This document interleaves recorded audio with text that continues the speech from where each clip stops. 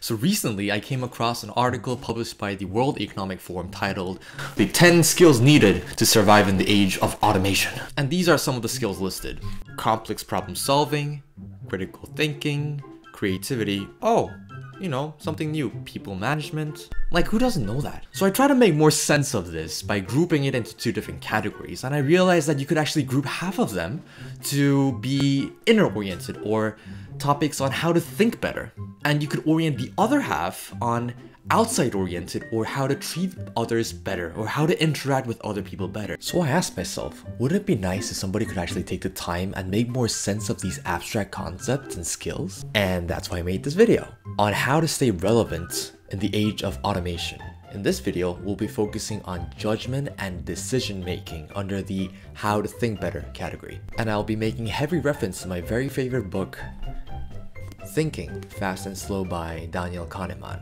At times we make decisions that go against what we would consider as rational, which creates awkward moments and even moments that we would end up regretting for the rest of our lives. For this reason, I would like to help you understand the thought process that goes behind decision making to rid yourself of all these awkward moments and to help you make the best decision at all times. So, there are three questions that I'm trying to answer through this video. The first is, why do we make such stupid decisions at times? Second is do we enjoy pleasure as much as we dislike pain? And how does this actually uh, filter in in our decision making process? And third is understanding that there are two selves within us and understanding that these two selves have different interests. To begin with, let's ask the question, what makes us make such stupid decisions at times? What makes us In order to understand this, I'll show you two pictures. So this is the first picture. This is the second picture. Now your mind did something completely different when you saw each one of these pictures, and let me try to explain what happened. Kahneman explains this in what he defines as System 1 and System 2. Those are two systems in your brain. So system 1 is the intuitive part, it's fast, it's quick, and it comes in like a wrecking ball with like Miley Cyrus. It just comes right at you. It's like the Tasmanian devil of your thought. It just jumps to a conclusion and you instinctively know what that is. So this first picture, when you see this this woman, you see intuitively that she's pissed about something. Maybe her son spilled apple juice on the rug, I don't know, but you just know by looking at her face that she looks really angry about something. And that was, it didn't you didn't have to think about that, it just was instinctive. Now, when you saw the second equation, something else different happened. You, it wasn't intuitive. You, you didn't know the answer to this question in like a matter of seconds like you did to the image with the pissed woman. It took time. You need to actually think. Maybe your palms got a bit sweaty because uh, seeing this got your brains all shriveled up or something? So you can clearly see that there are two different ways that your brain functions. System 1 is intuitive and it goes straight to the point, whereas System 2 is deliberate and it takes time for things to process. So, the reason why we make stupid decisions at times is because our system 1 jumps to a conclusion or an irrational conclusion, or system 2 is unable to stop system 1 from making that decision. Okay, let me say that one more time. The reason why we make stupid decisions at times is because our system 1 jumps to an irrational conclusion or because system 2, the deliberate system 2, is unable to control the irrationality of system 1 jumping to a crazy conclusion. So let's try to understand why this is so. So the first question is, why does system 1 jump to an irrational conclusion? And in order to explain that, I'm gonna explain two different keywords. First is WYSIATI, and the second is story. First, WYSIATI refers to what you see is all there is. What that means is that our system 1 jumps to a conclusion based on the most recent memory that we have of that certain instance. And the second point is story. So for our system 1, the actual factual background of whatever is going through our mind does not really important. What is really important for system 1 is whether it makes sense to us, the story. For example, if I failed my biology class when I was in high school and I couldn't give a damn about, you know, the environment or anything, and the most recent article that I read just so happens to be in Breitbart or something talking about um, climate change being a hoax, and that's the only point of reference that I have in my head, then that will be my most recent memory of that instance on climate change. True, I might have heard something saying that it might not be a hoax, but that's my system two, that's my logical part, it's somewhere back there, it's hidden If, for example, somebody asks me a question on climate change, what do you think about that? If my system 2 does not stop myself, then I'll just blurt out, oh, it's a hoax made by, you know, the government or something like that. And that becomes true for me because first, it makes sense, and second, it's the most recent memory that I have of that instance. So remember, the easier it is to actually extract a memory about a certain instance, it, there's a very high likelihood that this is more of an intuitive or instinctive response rather than a factual response. So be careful. So the second reason why we make stupid decisions at times is because our system 2, our deliberate system 2, is unable to stop our system 1 from jumping to a conclusion.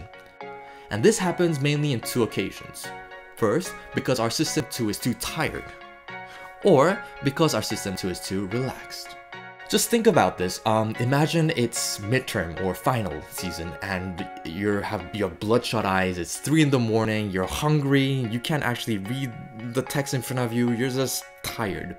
Do you think you could actually make a fair, objective judgment in that situation? Probably not, right? Or imagine a situation where you're so completely relaxed when you're high on weed, or I don't know, you're just completely laid back and chill. Do you think you'd be able to judge something fairly when you're in that state? Probably not either. So make sure that next time you make a very important decision in your life, that your system 2 is alert.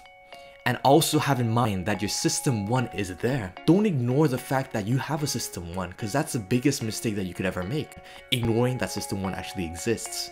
Ignoring that system 1 is actually a part of you that wants to jump to a conclusion but without being filtered by system 2. Now you might be thinking, this is all gibberish, you know, system 1, system 2, what are you talking about? I'm smarter than that, I can judge, I can control my system 1, system 1 doesn't control me, I am the owner of my own mind. But do you really think so? And just to test that, I'm gonna give you four different examples to prove you wrong, and that your system 1 is actually more powerful than you actually think. Okay, so let's start. Guess what this word is on the screen while I get something to eat? I'm starving. Okay, so. Did you guess the word? Was the word soup? If so, congratulations! You fall into what is known as the priming effect. This is not food, this is nothing. I just primed you to think of food. So you could actually guess the word soup instead of soap. So think about it. If I instead was rubbing my face with something or was washing myself, then the word that you would have guessed would not be you but an A and you guess soap instead of soup. So this is what's interesting about the priming effect is that I can make you think something without you even realizing that you thought something. The second is the halo effect. And let me just read out the traits of these two people, Alan and Ben. So Alan is intelligent, industrious, impulsive, critical, stubborn, envious. And Ben is envious, stubborn, critical, impulsive, industrious, and intelligent. Now, if you had a choice to become friends with one of them, who would it be?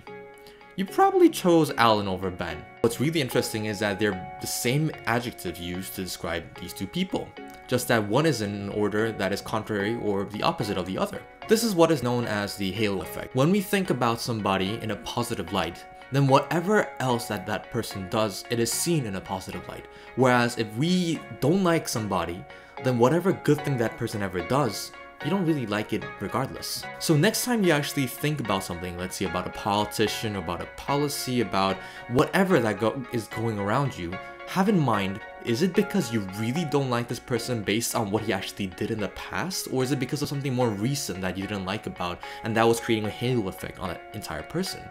Now the third example, I'll just launch it uh, in the form of a question. What do you think is the percentage of African countries listed in the United Nations? Do you think it's above 10%? I'll give you 5 seconds.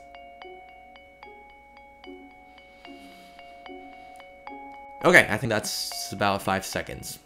Now, if I can guess your number, it probably was in between 10% and 35%. If I was correct, you fell for the anchor effect. Now remember I said, do you think it's above 10%? And you probably listened to that and you just, you know, probably didn't think much about it. But what happened there, if your guess number was in fact between 10% and 35%, was that your mind subconsciously anchored to the 10% number. So it didn't really go that far. See, the answer, the real answer, is 52%. But you would have never thought of actually going that far. Now, what's really interesting is that if I, for example, said, do you think it's below 65%?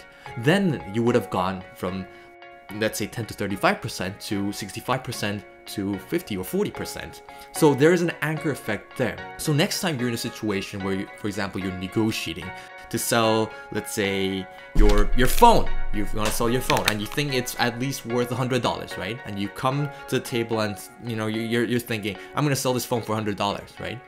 And right before you're about to say anything, the other person says, I want fifty dollars for that phone. You know, then what you actually need to do in that situation is get up and then say, I am not going to continue this negotiation with that table on the number. I want it rid. I don't want it. I want to start over again. And the reason why you have to do that is because as soon as that number, $50, lands on the table, then that becomes your reference point, that becomes your anchor. And the last experiment is my favorite experiment. It's called the pencil experiment. I just actually made that up, but pencil experiment. So depending on how you hold this pencil in your mouth, your mood changes. So for example, if you if you hold your pencil like this, then automatically you have this smiling face. And that apparently lifts your mood and it helps you become more relaxed in a sense. However, if you hold the pencil this way,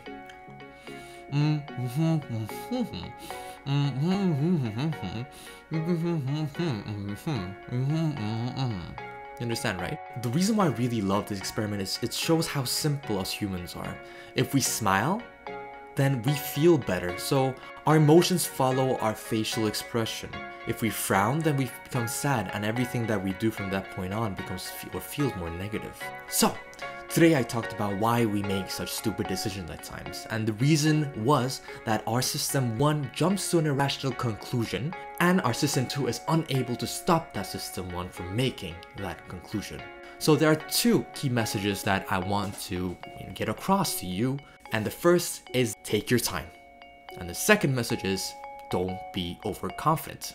The reason why I say take your time is because most likely when you want to just burst out with a reply, that's not you speaking, that's not your rational self speaking, but your system one. And the problem is that as soon as you, you know, say that, and even though your system two later comes and says you shouldn't have done that, it's already out there. You've already made the mistake.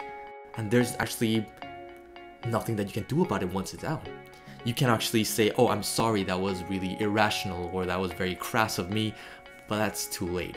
That the other person would have already been hurt or already been thinking that you're a bit crazy or just a bit, you know, off the rocks. And the second thing is, therefore, don't be overconfident. Most likely, the answer that you know is half baked, and you don't actually know what you're really talking about most times. And I speak this out of uh, personal experience at times. So, Take your time and therefore don't be overconfident because there's a likelihood of you saying something that you don't really mean or saying something that you really didn't think about properly in the past. Okay, so this will be the end of the first half of the video, and the second part of the video will be talking about whether we like pleasure as much as we dislike pain and how that factors into our decision process. And the second part is also will be about the two selves in us and how these two actually disagree I hope you enjoyed this video as much as I enjoyed making it. So if you like this video, please click the like button below and click the subscribe button and that will really make my day. Thank you and I'll see you in the next video.